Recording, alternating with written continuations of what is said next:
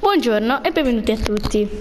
Come vedete abbiamo rappresentato il bullismo in una scuola perché molti fatti avvengono proprio in essa. E lo scopo è riuscire a trovare tutti i cartelli con le risposte. Parlane con qualcuno perché bisogna sempre parlarne. Poi c'è un, c'è un bellissimo parcheggio dove c'è una bruttissima scena di bullismo con il bullo e i suoi due amici e la povera vittima con su scritto a volte serve solo una parola al posto di un pugno e siamo già a due cartelli. Ma passiamo subito all'interno. Come vedete è pieno, vedete, è pieno di cuori bellissimi, fatti dalla nostra Lucrezia Tucci, la nostra bellissima compagna. E vogliono dare un messaggio particolare, cioè non facciamo la guerra, ma dobbiamo volerci bene l'uno dagli altri.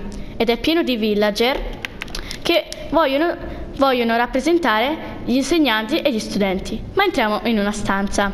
Come vedete c'è scritto combattiamo per eliminarlo, il, il bullismo ovviamente. E in ognuna di queste classi, per esempio nella stanza del professore che abbiamo appena visto, o se no andiamo in una classe bella, ben arredata la nostra Cecilia Romeo e il professore vuole dare una bellissima, una, una bellissima lezione. Cioè, non lasciamo da solo chi viene bullizzato, perché è vero. Ma passiamo subito all'esterno. Vediamo una bellissima scritta con su scritto no al bullismo, fatta dalla nostra Cefi Scarla, bravissima, bellissima. E un cuore, fatto da tutte e tre. E ha un significato molto bello. Cioè, potrai bullizzarmi quanto vuoi, ma non potrai mai togliermi la gioia che ho dentro il mio cuore. E c'è scritto bullizzare una persona non rende forte ma debole, perché è vero. E infine abbiamo una bellissima scritta in color verde lime con su scritto fermiamolo adesso, il bullismo, perché il bullismo è una cosa molto brutta.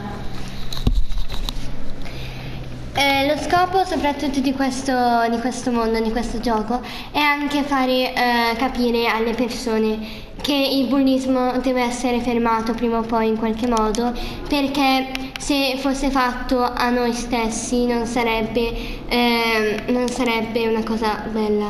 Quindi fermiamolo prima che si espanda.